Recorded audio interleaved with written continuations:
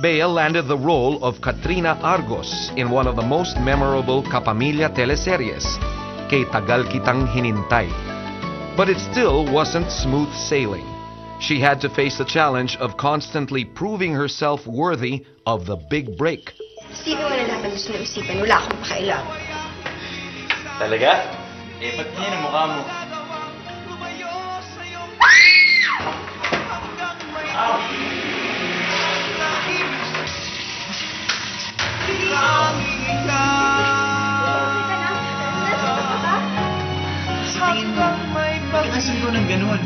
Ginulat mo ako eh. O ano? Tumahaba ang ulo mo?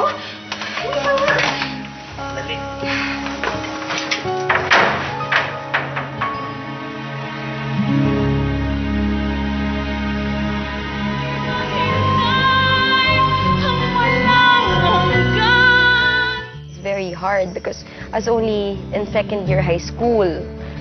Yung role ko, 21-year-old law student. So 14, tapos 21 years old yung role mo. Sobrang hirap. Una-una, ang taas pa ng boses ko. Alam mo yun, yung, ah, ganun ka pa. Very perky. Pangalawa, law student, law yun. I mean, never ko pang napag-aralan yun sa second year high school. And I didn't know what Jeopardy was. I didn't know what all those laws were. So, parang every before a scene or, halimbawa, ano, court scene, ganyan, kailangan talaga papaliwanag sa akin ng Direk Lauren, line per line, kung ano sasabihin ko. Ang hirap sa akin, unang-una yung diction, yung, yung believability, yung confidence, at yung, alam mo yung bearing ng isang woman. And I was just a girl. I was 14.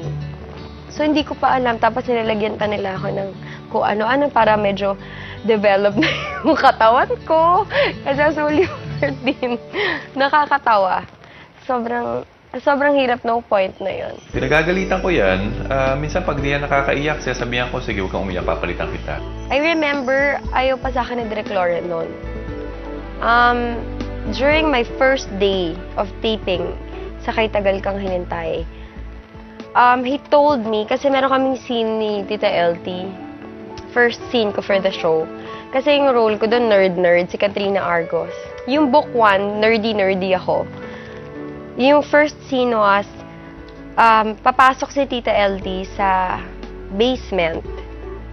Tapos doon ako natutulog. Yung role ko kasi painter ako. Tapos introvert ako. So I keep everything, all my emotions to myself. Yung role niya kasi kambal siya. So she pretended to be the parang yung kontrabida one. So when I saw her, dapat ano, kap, dapat nag-flashback yung mga ginawa sa akin. Tapos nag-well up agad, nag, ano, agad ako, dapat umiyak ako.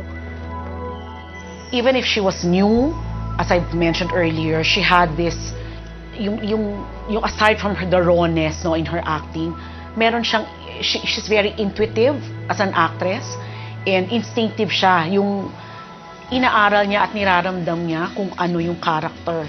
No? Gusto, gusto niya yun. Nag- mara- marami siyang tanong, palagi siya nagtatanong.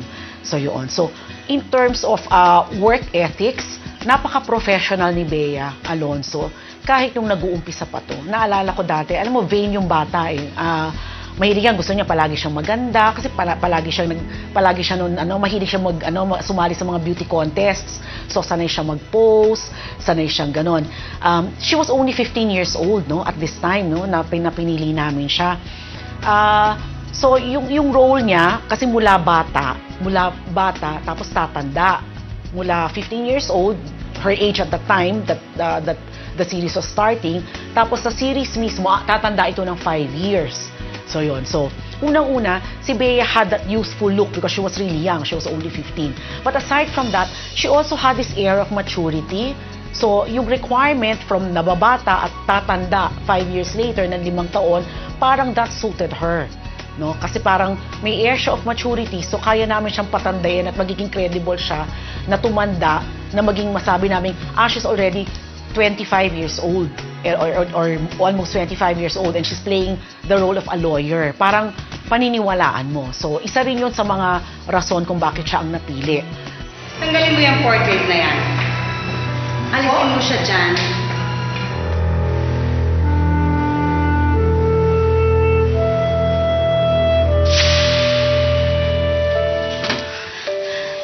Please go. During the rehearsal, sobrang ano, tawa lang ng tawa si Tita LT, nakikipagbiruan siya, ganyan. So, akala ko ganun lang. Siyempre, starstruck pa ako, diba?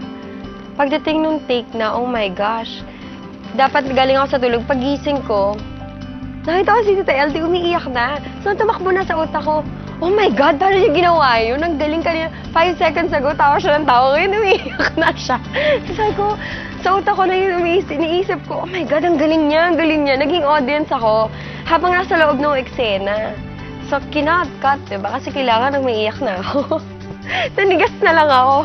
Sabi, binigay sa akin ni Rick Rivero, siya yung AD na, namin ng time na yon. Binigay niya sa akin yung headset. Kakausapin ka daw ni Direk. Pagbigay sa akin ni Direk. Ay, pagbigay sa akin ng headset, sinabi sa akin ni Direk, kapag hindi mo ginawa tong eksena to, kapag hindi ka umiyak, tatanggalin na kita sa show na to. Sabi niya, oh my God, nag-flashback agad sa utak ko, oh my God, paano yung pang taxi? Papagalitan ko na ako ni Mama. Wala akong sweldo for today. was not confident na magagabayan ko siya para makaarte na maayos dun sa role na gagampanan niya. It was a pleasant surprise for all of us that uh, Bea was able to step up to the plate and to prove us all wrong. I had to prove myself to him. Noong una, ayaw, ayaw niya talaga eh. Parang half-hearted siya. May gusto sa akin na mapunta sa akin yung role na yun, si Inang, si Direk Olive. So I had to fight na para... And I had to prove him wrong na kaya ko. Kaya ko. Feeling niya kasi sa akin wala akong personality. Feeling niya bland ako. Feeling niya kimi lang ako. Kasi nung umpisa ako, nag-uumpisa ako, wala talaga akong... Parang mahiyain ako. So, He didn't like it. I had no confidence. And then eventually, pagkatapos ng show, mahal na mahal niya na ako. Ngayon, we're the closest. She also found in me parang a, a father, not only uh, sa personal niyang buhay, pero sa trabaho.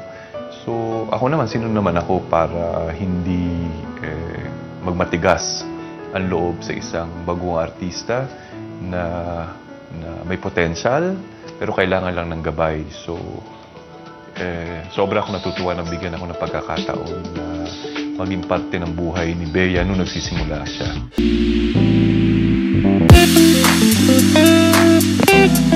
Thank you.